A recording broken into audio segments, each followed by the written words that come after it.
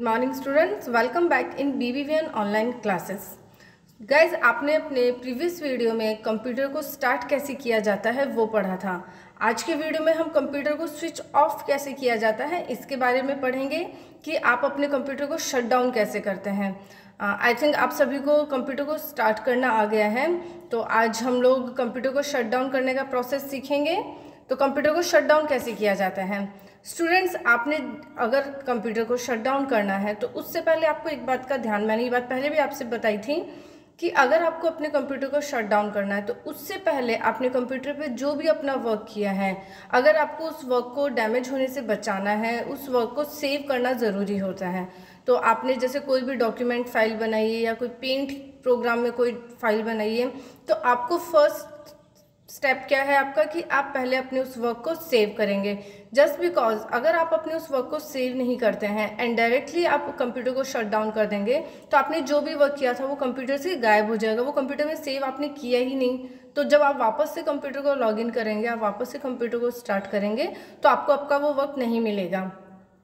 सो so, आपको हमेशा इस बात का ध्यान रखना है कि आप जब भी कंप्यूटर शट डाउन कर रहे हैं तो आपको उससे पहले अपने जो भी फ़ाइल या डॉक्यूमेंट या जो भी आप वर्क कर रहे हैं उसे आपको सेव करना ज़रूरी है। सो लेट स्टार्ट कंप्यूटर को शट डाउन कैसे किया जाता है? कंप्यूटर को शट डाउन करने का फ़र्स्ट स्टेप है click on the start button आप सबसे पहले स्टार्ट बटन पे क्लिक करेंगे। स्टार्ट बटन पे क्लिक करने के बाद पावर बटन आएगा, वहाँ क्लिक कीजिए और वो करने के बाद में शट डाउन ऑप्शन आएगा। You can see shut down message on the screen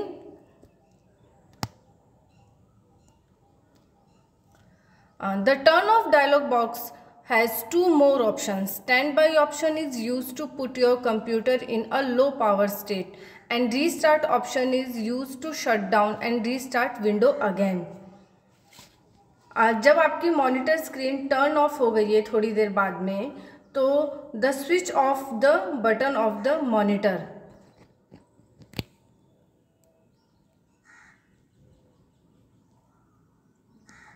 आप मॉनिटर का बटन स्विच ऑफ़ करके,